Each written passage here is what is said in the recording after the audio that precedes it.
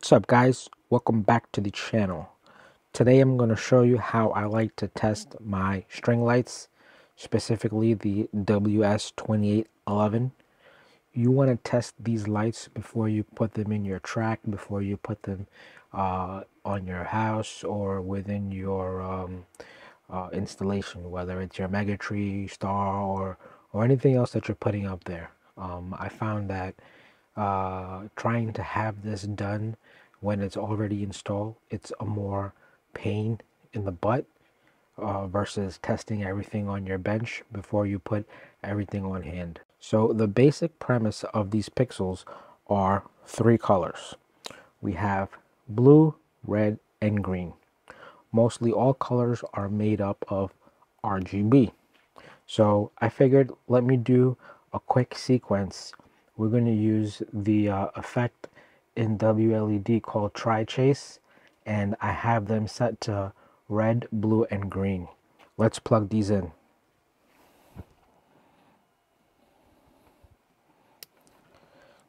So I have these in the three color chase mode.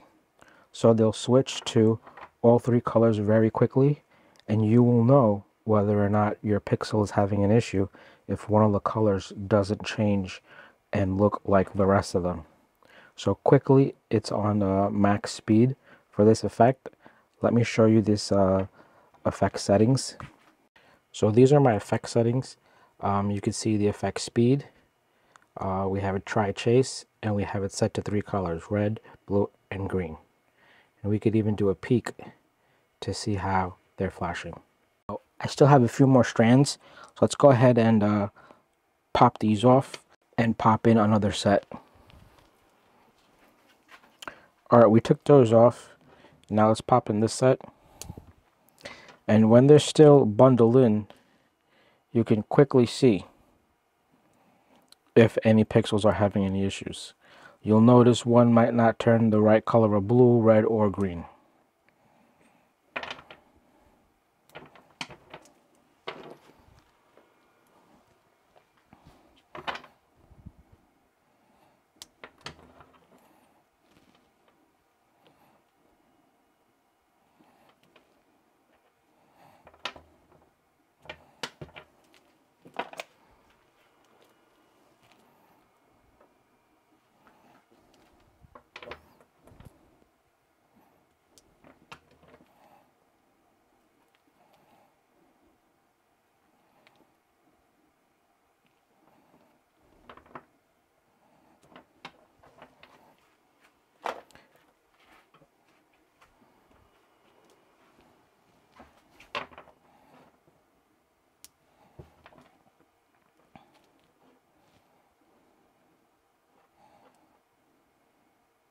So there we have it.